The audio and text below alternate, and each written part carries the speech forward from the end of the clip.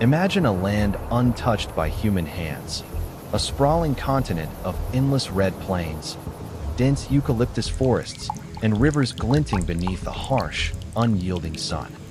Here, the air vibrated with the roar of life, thick with the scent of wet earth after rare rains, and alive with the shadows of creatures so enormous, so alien, they would defy belief today.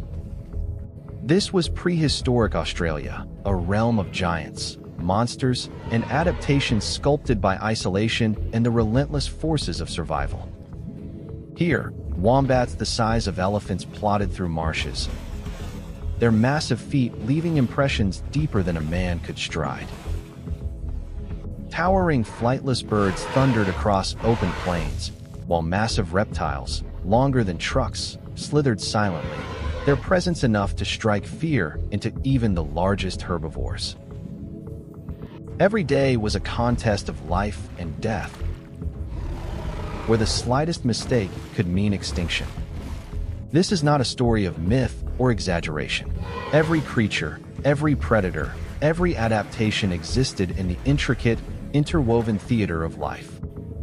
Through the lens of science, we can reconstruct these lost worlds, feel their pulse, and witness the extraordinary extremes evolution produced in isolation. Step into a time when Australia was not a continent of small marsupials, but a land ruled by nightmares beyond imagination.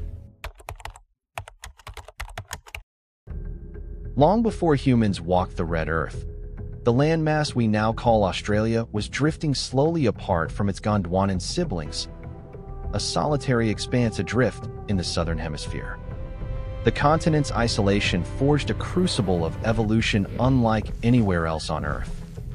Rainforests once cloaked much of the landscape, giving way to open plains and scrublands as climates shifted and seasonal floods carved rivers and wetlands that teemed with life. In this ancient world, the rules of survival were both familiar and strange. Marsupials, dominating where placental mammals ruled elsewhere, explored niches that elsewhere would have been occupied by entirely different families of creatures. Some evolved into towering browsers, grazing the treetops, while others became swift predators, masters of stealth and cunning. Isolation allowed oddities to flourish. Flightless birds of unprecedented size, reptiles far exceeding the proportions of their cousins elsewhere, and creatures whose existence would seem impossible if not for fossil evidence etched into limestone and sandstone. The stage was set for megafauna to rise, but not merely in bulk. These were beings forged for endurance, for survival in an unforgiving environment of fluctuating climates, fires, and periodic droughts. Every adaptation mattered. Limbs had to support immense weight. Jaws had to process tough vegetation. Senses had to detect threats in forests where a single wrong step could be fatal. Australia's ancient landscape was more than a backdrop. It was an active participant in evolution. Seasonal cycles, predator-prey dynamics, and environmental pressures created a world where only the fittest survived. It was a place where isolation nurtured creativity and life itself, setting the scene for giants to dominate, predators to innovate, and the drama of survival to unfold at a scale no modern imagination can easily grasp.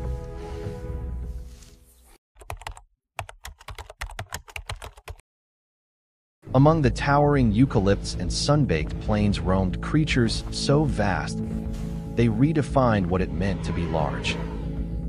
At the forefront was Diprotodon, the largest marsupial ever known. Standing up to 2 meters at the shoulder and stretching over 3 meters from nose to tail, weighing nearly 3 tons, Diprotodon moved like a living fortress.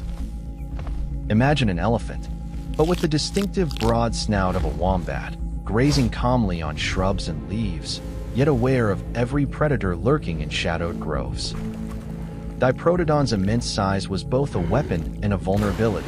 While few could confront it head-on, its lumbering gait made it slower to react to sudden threats, and its dependence on water sources left it exposed during dry spells. These giants were browsers, often traveling vast distances in search of moisture-rich vegetation shaping the landscape simply by their presence. Forests bore the scars of their feeding, and riverside plains were churned by their massive feet. Meanwhile, Procoptodon, the giant short-faced kangaroo, moved with astonishing grace. Two meters tall and over 200 kilograms, this marsupial was a leaf browser rather than a hopper of the modern kind. Its long forelimbs and grasping hands allowed it to reach foliage beyond the reach of other herbivores. In some ways, it resembled a modern giraffe in function, yet built for the rough terrain of Australian scrubland. Predators waited in the shadows. The largest herbivores had evolved not merely for size, but for survival strategies. Social behavior, vigilance, and seasonal migration all played roles in evading danger. One misstep, a grazing diprotodon turning too slowly, a Procoptodon straying from its group, could invite disaster. Yet the sheer scale of these titans also inspired awe. Their dominance over the land was a testament to evolution's ability to build both grandeur and resilience in equal measure. The story of these giants was not static. As climates fluctuated, they had to adapt to new vegetation patterns, shifting rivers, and seasonal droughts. Each day was a gamble, a test of endurance against the forces of nature, against predators both cunning and colossal. And in every footfall, every rustle of leaves, the drama of survival played out in a world as beautiful as it was brutal.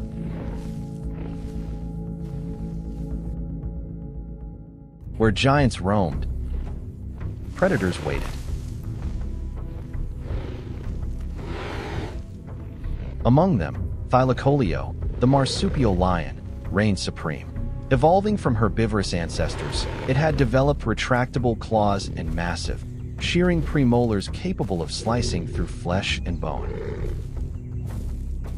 While comparable to a modern lion in weight, its bite force relative to size was extraordinary, more than capable of dispatching prey far larger than itself. Every stalk, every leap, was calculated, a lethal ballet of patience and power. The skies and land were also home to Megalania, a colossal monitor lizard stretching up to 7 meters. A predator built for ambush, it could slither silently across open ground, muscles coiled like springs, before striking with terrifying precision. For a Procoptodon or a young Diprotodon, Megalania represented an ever-present nightmare, a predator that could appear without warning, vanish just as silently, leaving only devastation in its wake. On riverside plains prowled Quinkana, a terrestrial crocodile up to 6 meters long. Its long legs allowed it to chase prey across land, while blade-like teeth ensured that few herbivores could escape once within reach. Unlike modern crocodiles, Quinkana was an apex predator in a dry landscape, a creature whose hunting strategy combined stealth, endurance, and explosive speed. Predator and prey danced an endless game of life and death.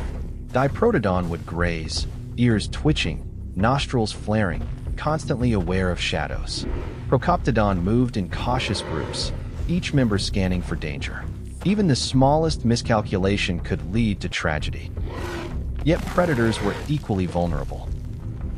A thylacoleo misjudging its leap could be crushed beneath the hooves of a diprotodon, and a megalania caught on open plains could become trapped in muddy riverbeds. This world was one of extremes. Modern comparisons, like lions hunting buffalo on the African savanna, capture only a fraction of the terror and scale. In prehistoric Australia, prey was massive, predators were extraordinary, and the consequences of every encounter could ripple across ecosystems. Evolution honed every strategy, every adaptation, crafting beings that were both fearsome and awe-inspiring in their complexity and efficiency.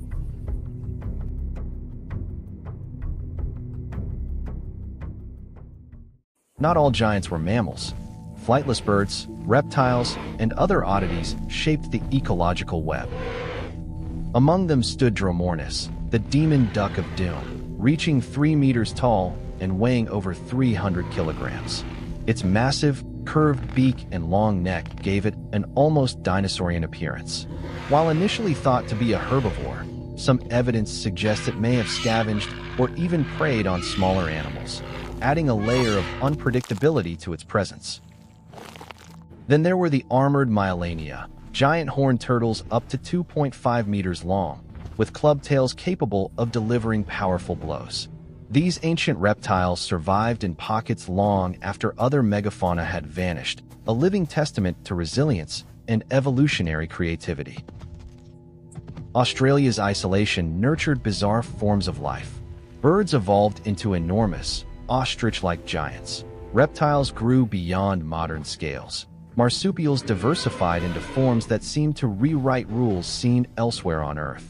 Modern analogs, such as cassowaries or goannas, offer hints of these lost forms, yet pale in comparison to the scale and extremity of their ancestors.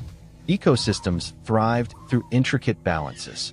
Giant herbivores reshaped vegetation. Predators maintained population control, and birds and reptiles filled niches that mammals might occupy elsewhere. Evolution was both artist and engineer, crafting bodies, behaviors, and strategies that allowed survival in a land where danger lurked in every shadow. It was a world both alien and familiar, where every step, every rustle of leaves, carried suspense. The air itself seemed heavy with anticipation, a constant reminder that life in prehistoric Australia demanded vigilance, ingenuity, and extraordinary adaptation.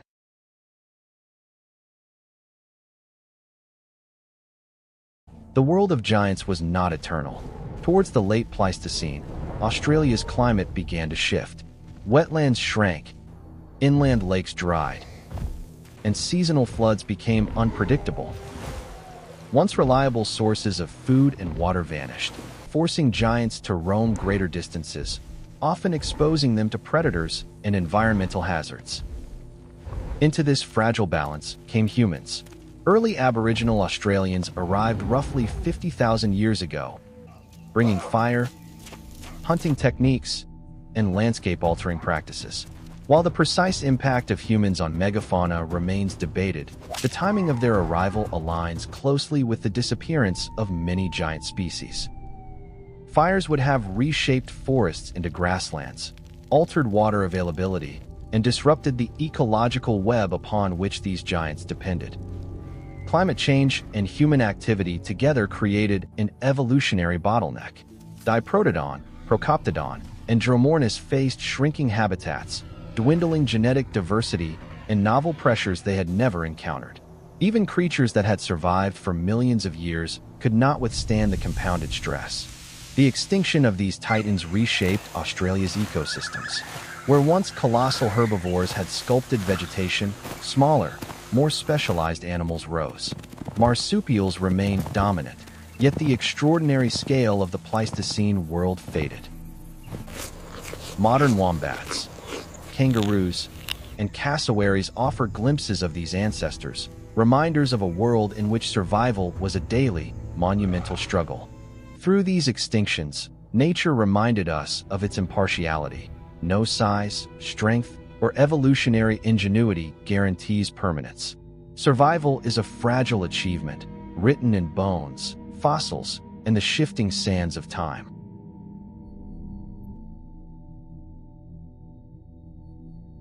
Today, Australia's red plains and eucalyptus forests are quieter, yet the echoes of the past remain.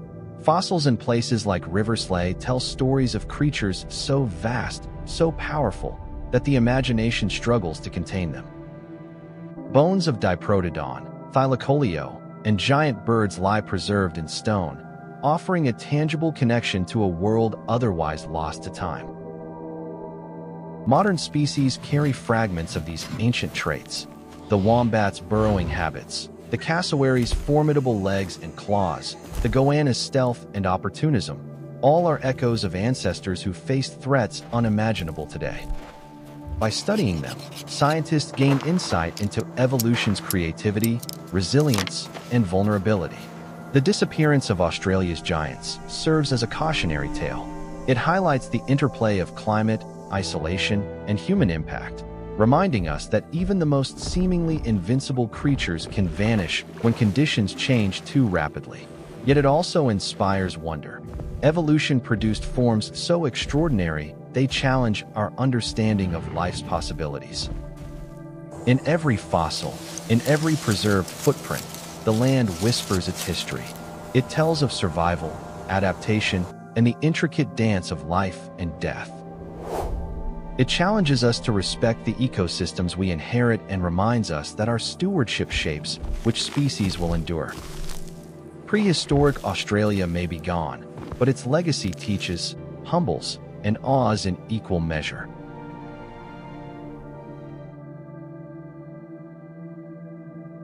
Prehistoric Australia was not merely a stage for monsters. It was a crucible in which evolution tested extremes. Gigantic marsupials, terrifying predators, and strange birds were not anomalies. They were triumphs of adaptation, survival, and the relentless push of life against the boundaries of possibility. Their existence was a testament to nature's creativity and its impartial cruelty. In observing these lost worlds, we confront the same forces that shape our planet today climate change, competition, predation, and the fragility of ecosystems. Survival is never guaranteed, no matter the size or strength of a creature. Every footstep of a diprotodon, every hunting leap of a thylacoleo, every cautious glide of a giant bird was a gamble against extinction, a reminder that life is both wondrous and merciless. Today, Australia's landscape is quieter, yet the echoes of those giants remain in stone, in fossils, and in the traits of modern species. They urge us to reflect on our place in the natural order, on the responsibility we bear as stewards of life, and on the beauty and brutality of evolution itself. The nightmares of prehistoric Australia are gone, but the lessons they leave resonate profoundly in the sweep of time, in the power of adaptation, and in the awe-inspiring drama of survival that unfolds wherever life dares to exist. What would it have been like to walk among giants the size of elephants or face predators longer than a truck? Which prehistoric creature from Australia fascinates you the most, and why? Share your thoughts in the comments below. We want to hear your ideas, theories, and what-if scenarios. And if this journey into the lost world of Australia ignited your sense of wonder, don't forget to hit subscribe and join us for more incredible stories from the dawn of life, the rise of giants, and the mysteries of our planet's past. Every subscription helps us uncover more wonders and bring these prehistoric worlds to life for you.